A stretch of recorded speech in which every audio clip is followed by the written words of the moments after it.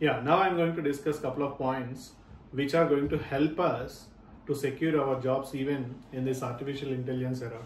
So that is, we have to concentrate always on the design, not on the syntax. So that means now the syntax, coding, basic coding, everything is going to be powered by artificial intelligence. But where a human interaction is required is designing the application or product. Yeah, that means as a developer going further, we have to focus more and more on the system design. And the second point here it is, we have to become masters as part of domain knowledge and as well as we have to become masters in the system design as we discussed in the first point. So that means what is the meaning of domain knowledge here it is. For example, if you are working on something like a Java programming language and associated frameworks. So in that area, we have to be very stronger. The reason is when AI generated the code, sometimes we have to analyze that code, we have to tweak that code and we have to modify that code specific to our needs, specific to our requirements.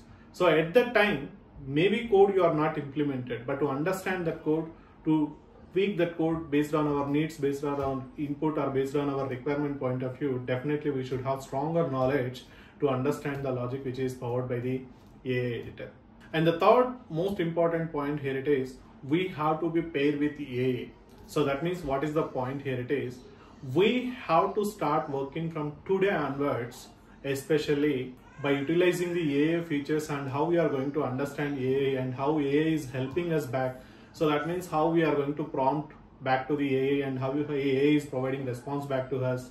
So what kind of prompts we are providing and what kind of response we are getting. So that means we have to improve our knowledge, especially as a basic thing, as a primary thing in these areas. Otherwise, see now what we understood, the moment we given the prompt, based on the prompt, the response AI agents is going to give the response back to us. So that means AI response always depends on your prompt, your input.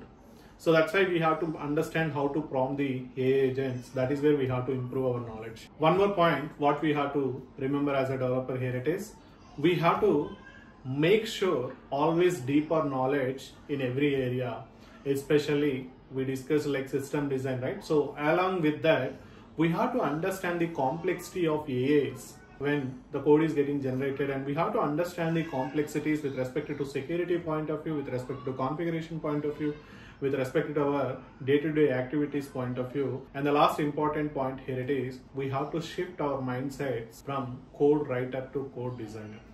So that means going further, by utilizing all these AI tools, we are going to design the code but not writing the code.